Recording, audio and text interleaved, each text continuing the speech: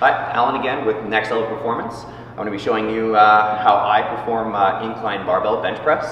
Uh, key points to think of or to keep in mind, keeping your chest up and your shoulders back. You want to kind of uh, squeeze those shoulder blades together. It automatically puts a, a lower arc in your, uh, in your lower back. I'm going to show you now.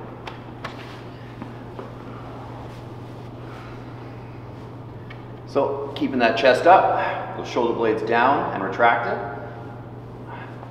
I come down all the way to the bottom part of my chest, up only about three quarters of the way. That way I still keep all the tension on my chest. I always pause at the top part of an exercise, just so I know I can always lift the weight.